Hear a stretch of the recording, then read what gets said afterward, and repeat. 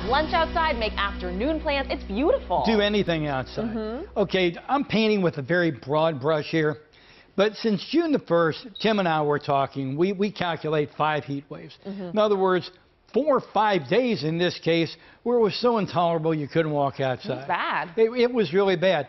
So I want you to think about that. We lost basically 25 days of the summer due to heat. I mean, if you wanted to go outside, fine, but you know, discretion was a much better form of valor when the heat index is 103, 104.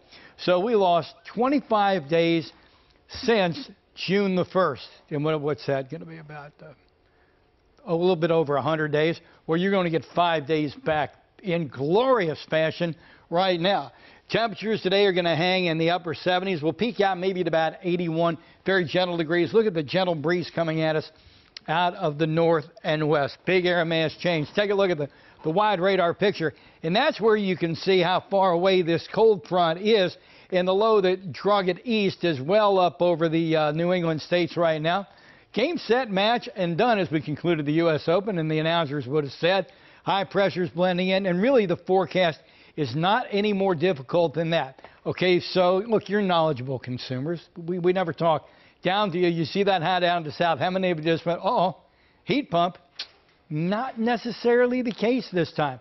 Actually, what that high is going to do, and it's a big one, the wind's going to be coming way around, almost out of the uh, uh, the western Great Lakes states. It is going to block some energy out of the area, and we really just don't see any difficulties coming our way. As a matter of fact, other than this moisture up to our north and east, you've got to go all the way back to the Rocky Mountains to even find a drop of rain. We're going to be uh, in some beautiful late summer conditions. I just decided to have a little fun. I'm going to hit the button here in a second.